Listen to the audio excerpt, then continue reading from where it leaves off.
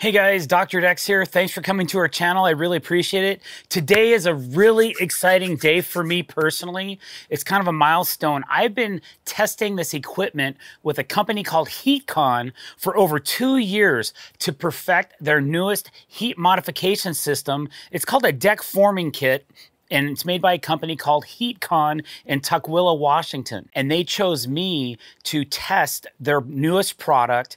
I've been using their equipment for over 20 years, learning how to heat manipulate, meat, meat manipulate? Learning how to heat manipulate PVC and composite deck boards with their products. And what I have in my shop today is the newest and latest and greatest kit that they offer. So let me explain a little bit about what it is. Normally when you bend a 20 foot deck board, you have to have two sets of blankets to do that. They sell their blankets in 10 foot kits.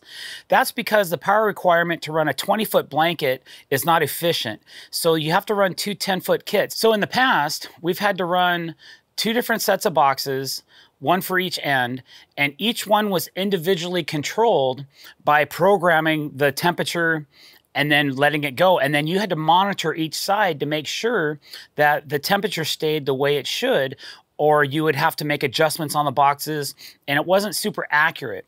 With the new system, they still have two boxes for a 20 foot kit, but you have the ability to control them in a different way. There's also a touch programmable screen on this one instead of the push button, which makes it a lot easier to program and, and change temperatures and that kind of stuff. But the coolest part about the system is you can independently heat the bottom blankets at one temperature and the top blankets at a completely different temperature so that you can control how much heat you're putting into the plank from the bottom and the top of the board. Why is this important? Well, most decking products have a beauty side of a board and then they have a bottom side of a board. Some companies make their deck boards with both sides uh, with an appearance grade on them, but the products I use have a definitive side up and a definitive side down.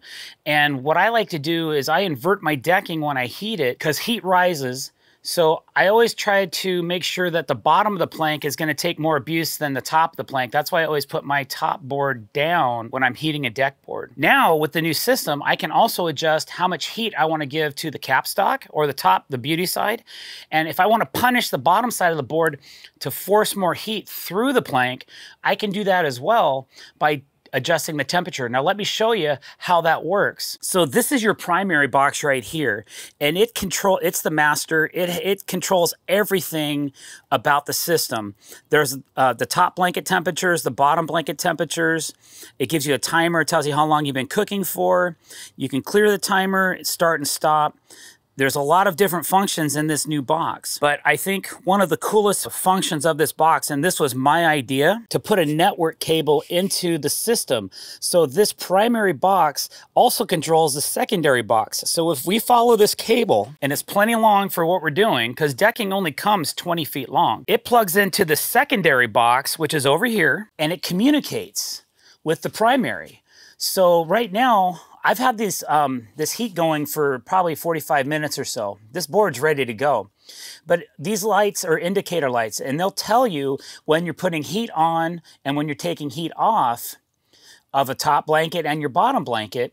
So it's continually maintaining the proper temperature that you're programming it to do. So this makes the system really efficient. You're gonna have less cooked boards or you're gonna have less overcooked boards when you're doing your your products. Another thing for all you guys that are cap composite fans, you don't use a lot of PVC, but you still want to bend your cap composite boards, you'll be able to put more heat to the bottom of your board and be able to make those bends a little bit easier without ruining the capstock or the top side of the decking, and you won't be smushing your hands into it while you're trying to create those curves. Okay, so really important factor there. So between the ability to control the top boards and the bottom boards, you can do a 10 foot board or with the, the uh, 20 foot kit, you can bend 20 footers. And what's cool about that is that the primary box will make both the bottom blankets run at the exact same temperature and then whatever you program, and then you can run the top blankets at the exact same temperature. Or if for some reason you have a tighter bend on a 20 foot board in one section, you can run that section of the board hotter. That's getting into some really advanced bending. I wanna show you what the board is looking like. Let's take a digital thermometer and I'll show you the temperature fluctuations from where my program temperatures are to the actual temperatures on the deck board. All right, let's go over there. All right, you can see that I have my top blanket set one and two set at 250 degrees, and I have my bottom blanket set at 200. Let's see what that translates out to on the actual deck board. This board has been heating for 45 minutes, so I anticipate it's ready to go. Always wear a welding glove or a UV glove or the supplied heat gloves that Heatcon sends with their kit so you don't burn your hands when you go to pick up this board because they're very hot. And I've had blisters, I've had micro blisters and medium sized blisters on my hands for not wearing the proper gloves. Because when you're in the middle of a bend, you're not going to stop and put the right gloves on. You're going to finish your bend and then go cry. Here's the uh, blankets. Here's that board. And she's nice and pliable.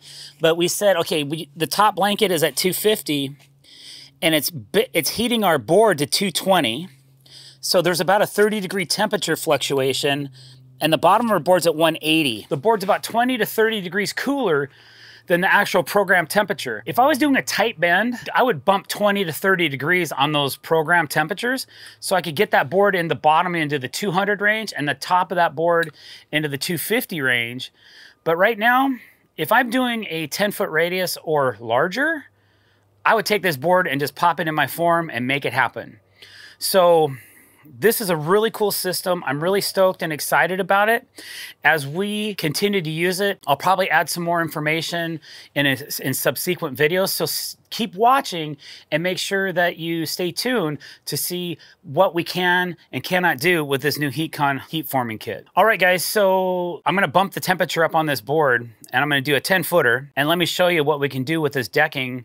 I'm just gonna tighten a knot, okay? All right, let's go. All right, guys, so we have a board in the new blankets, uh, the new Heatcon setup. And I cranked up the heat a little bit just to get a little warmer because I'm gonna tie this board in a knot just to show you kind of what it's like to throw away 50 bucks. No, actually just wanted to show you the flexibility and the pliability and how well this system works, okay? So here we go. I mean, it's like a noodle